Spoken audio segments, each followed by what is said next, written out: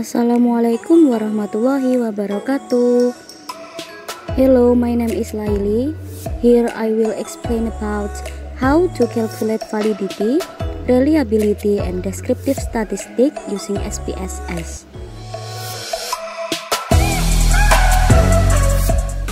Here I already provide the data that I will use.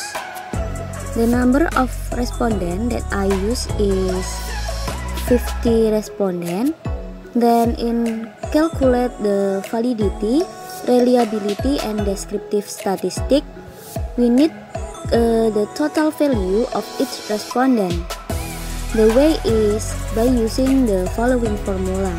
Type equal then sum s u m using capital letters then open brakes after that Block all the value of the first respondents, then press enter.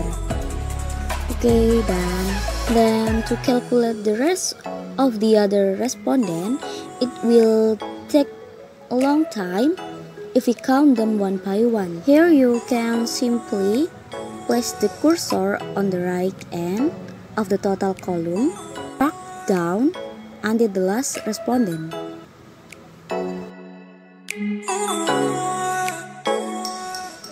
After getting the total score, now we can move the data from Excel to SPSS. Uh, here we just need to use the value of each respondent and the total value.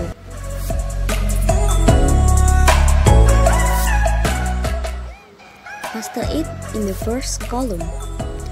Wait for a moment. Here we can see that the name of each question or statement is quite long.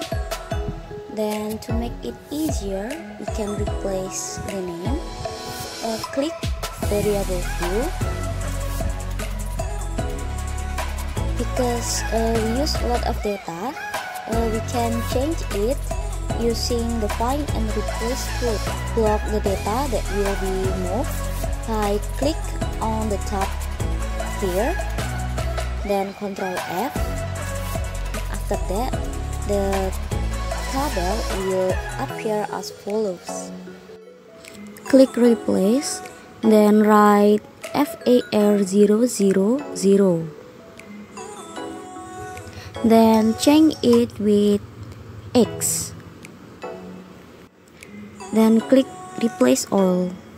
Okay, well done.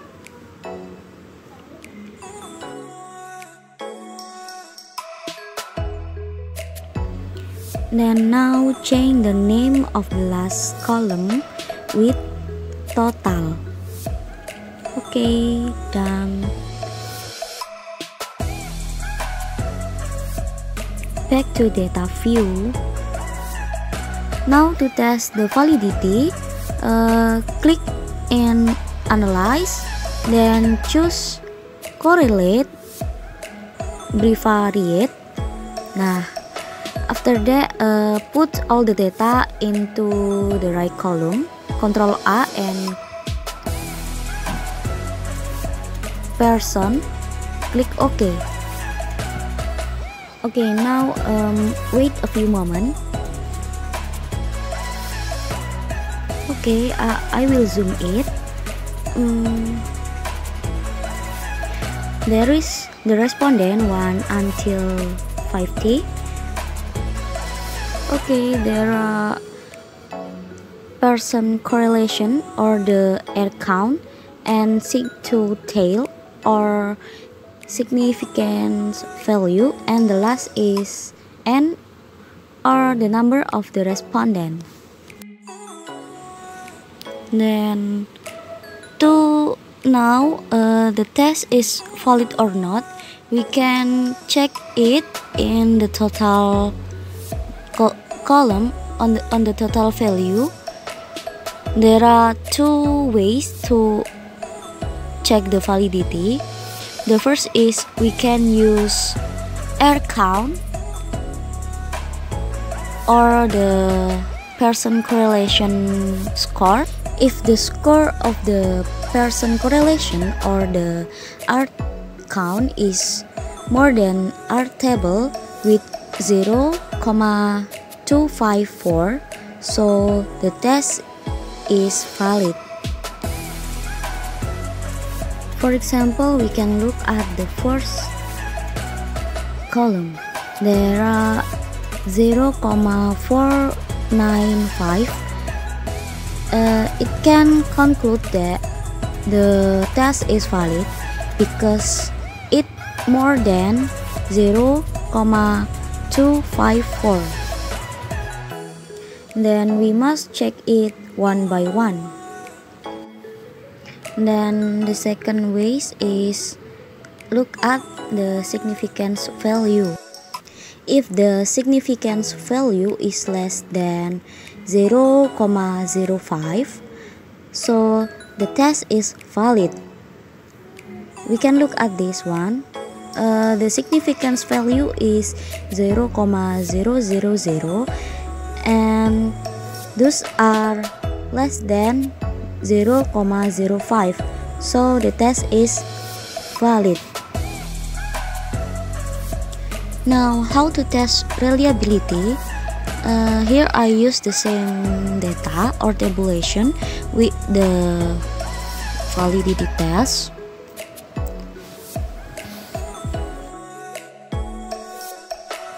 For information that in reliability test uh, we must know the Cronbach alpha. And to know the Cronbach alpha choose analyze then choose scale then choose reliability analysis Nah, now it almost same with validity test. Uh, but in reliability test, we move the data except the total.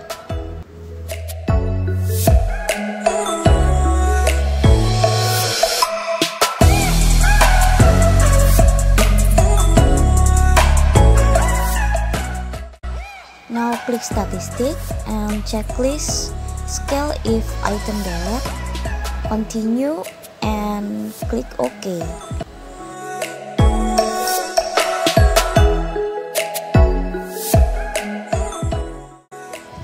This is the result of the reliability test. Uh, now look at reliability statistic table. There is Cronbach alpha and end of item or the total of our statement. Now the test is called reliable if the Cronbach alpha is more than 0,6 here uh, the Cronbach alpha is 0,900 and it knows that is more than 0,6 so the test is reliable. Now the last is how to count descriptive statistic. In descriptive statistic, we just use uh, the total score and click analyze descriptive statistic and descriptive. Uh, the ways is the opposite of reliability test. Uh, we just use the total score like this. Then click option. Here you can choose whatever you want. Here I checklist all of them. Then click continues and okay. Now here is the result of the descriptive statistic. There are maximum minimum mean of the score and and or the total of the respondent. There are 50 respondent